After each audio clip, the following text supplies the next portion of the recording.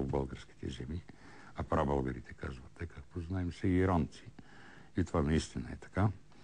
Не знам, може би в бъдеще ще можем да разгадаем тайната на гагаузите.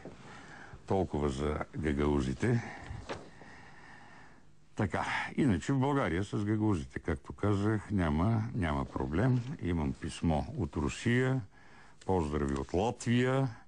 Намерили се един странен сал, сайт, той за нас не е странен. Там е известната, нашумялата напоследък, история на прабългарите, която, както установихме, и мисля, че имахме и предаване, е късен фалшификат. Късен фалшификат от 17 век най-вероятно. Но в края на крещата, в края на крещата смята се, че има и верни неща в нея. Той ще е ползвал някой по-стар ръкопис, а българи патриоти от Волска България, от Волска България са направили това голямо съчинение, нали? от които излиза, че къде що е основано някъде в евразийското пространство, са го направили парабългарите, включително и Киевска Рус, включително и град Киев и така нататък и така нататък. Това, както вие се ми се сещате, не би могло, не би могло да бъде вярно.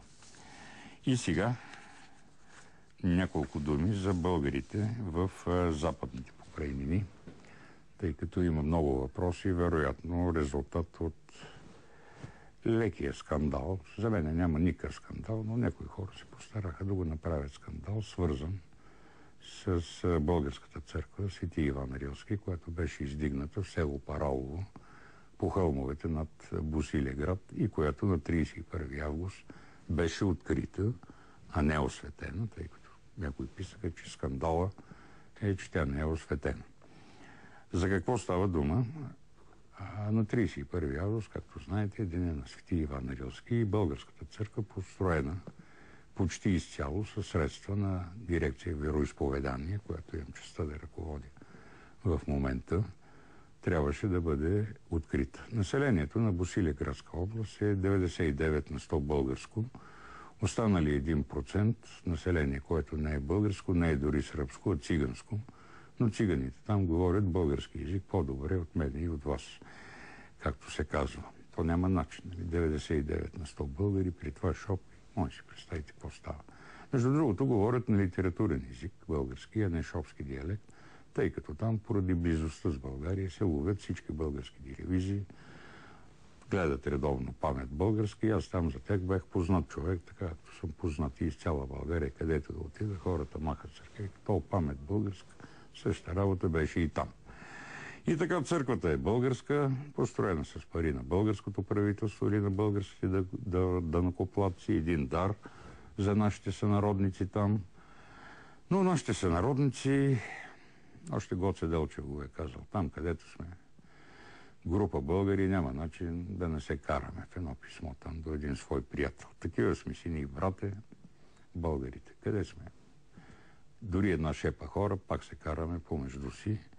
Има различни групи българи, три български политически партии и разбира се, някои местни политикани решиха да се възползват от един малък скандал между свещеника българини сръбския владика Пахоми, с който се срещах тук и убедих да не се чувства обиден и да присъства на откриването на църквата. Открихме църквата, беше весело, пихме, ядахме, веселихме се пя Несебърския поп, нали, отец Петър, който има глас като, като Николай Георов, нали, и завладя цялото множество там.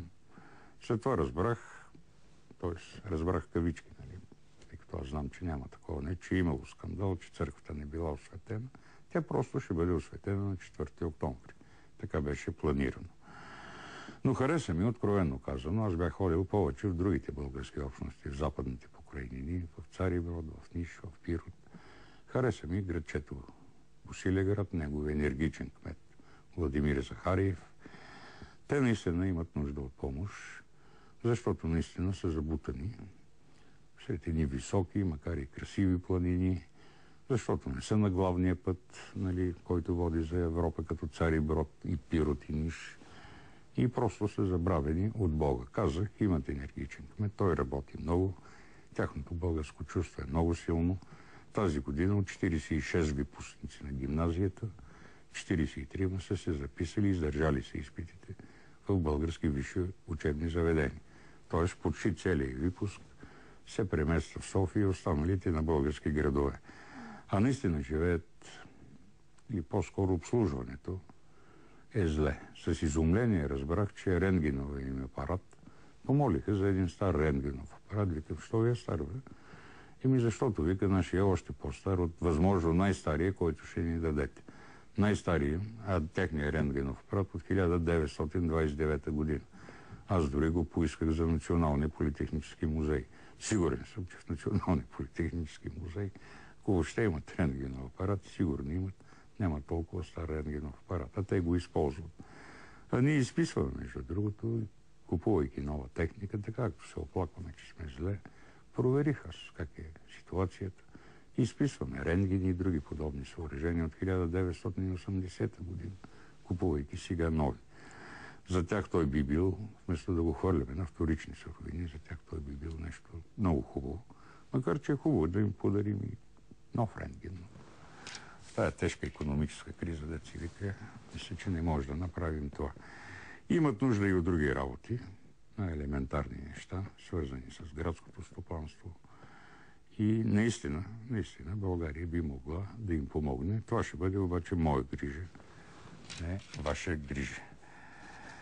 И в отговор на друг един въпрос, тук една наша зрителка ми казва, че не бива да смятаме 1396 година за край на българската държава. Тя смята, само да й произнесе името, да не се обиди, но нещо го загубих из листите, че, че, че, че, че българската държава била паднала по турска власт 1422 година. Да, така е, госпожо, само че това откритие вече е направено трима търновски учени, един от който познавате, той ми е чест гост, доцент Пламен Павлов. Да, наистина, след битката при Анкара, при която турският султан Боязит е разбит, напълно е разбит, а той ми е пленен, разнасен с клетка от монголите из цяла Средна Азия, докато умира от глад. По това време на Балканите някои се възползват, някои се възползват и някои от балканските владетели, по-точно синовете им се възползват. Между тях са и българските владетели Константин и Фружин, наследници съответно на Видинското и на Търновското царство. Те вдигат едно съвместно възстание, слава Богу, за разлика от бащите си. Те не са били отчуждени един от друг и са действали заедно, успяват да възстановят за кратко време българското царство. За съжаление, за съжаление, влизат в, според мен, в съюз неправилен с един от турските претенденти на престола, вместо да действат срещу всички и да търсят своето. Той е разбит заедно с техните войски в битката при Чемурли 1413 година. Това село се намира на дъното на езовир Искър сега. Тук се е станало само, Самоколското поле и за съжаление малко след това държавата им загива. А ето да. Значи Елена. Само Елена се е подписала госпожицата. Като аргумент тя привежда, че Константин II Сен умир през 1422 година и през 1413 година България има посланник при султана според византийския хронист Михаил Дук. А, мисля, че 1413 година е по-правилната дата, т.е. след битката при Чамурли, тъй като той може да живее до 1422 година, живее вече като изгнат. Победители при Чамурли Мохамед много бързо овладява всички български земи, които съставят територията на възстановеното, на възстановеното българско царство. Така... Така, е сега един от въпросите, който е, който е който ми задават, че тракийците са имали същата азбука като елините, т.е. имали със своя азбука и твърди, че би трябвало да смятаме, че траките също са имали своя азбука, като аргумент привежда нали, някои от първите надписи. Те не са един-два, над 300 до сега от Дунавска България с гръцки букви, независимо, че не са на гръцки. Да, съгласен съм, но